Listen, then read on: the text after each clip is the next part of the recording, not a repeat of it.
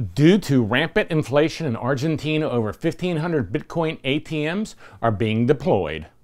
Next on your 4 Minute Crypto Daily News. Hello and welcome to 4 Minute Crypto. Now, today's show is from a post by Thomas Delahunty at newsbtc.com and is brought to you by the Texas Bitcoin Conference. Take a look at this great conference coming to Austin, Texas at texasbitcoinconference.com. And before I start, I want to remind you to like, subscribe, and share. Now, the US based company Athena Bitcoin specializes in the development and operation of cryptocurrency ATMs, and they launched Argentina's first cryptocurrency ATM a month ago in Buenos Aires.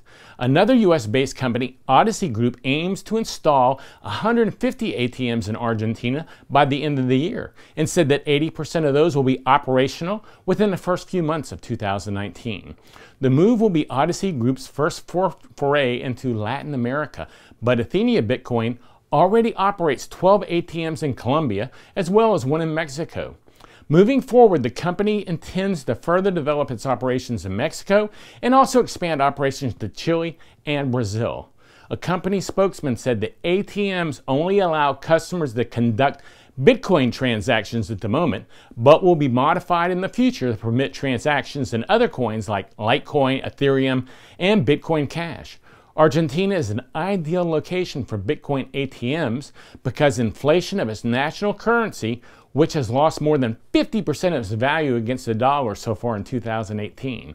Charlie Bilello, the director of research at the Pension Partners Investment Advisory Group, recently published findings on the return of cryptocurrencies and fiat currencies, which revealed that this year Bitcoin has actually outperformed the Argentina peso, as well as the Venezuelan bolivar and the Sudanese pound. Athena Bitcoin's Argentina operations manager Dante Galizia said that the cryptocurrency ATMs in the world are growing exponentially. In Argentina, there's no commercial ATMs, and the idea was to be the first to capture the market. The spike of the number of Bitcoin ATMs is not just limited to the southern hemisphere, as Bitcoin ATMs are increasingly being seen in many major cities across the U.S. It is estimated that there are 80 Bitcoin ATMs currently operating in Detroit, Michigan alone, and more than 2,000 others spread across the rest of the U.S. As Athena and Odyssey ATMs introduce cryptocurrency to more and more consumers across the globe, authorities will likely attempt to push back by claiming the coins and ATMs can be used to launder money and conceal ill-gotten funds.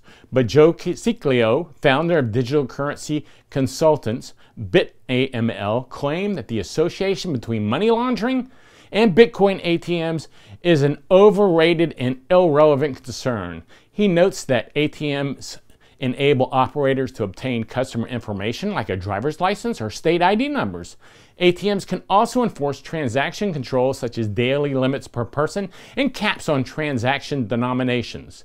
Have you seen a Bitcoin ATM in your area or your city? I know I have. Let me know your thoughts or where you saw one at on Twitter, where I'm at Gary Leland. And don't forget to join me every weekday for a new episode of 4 Minute Crypto.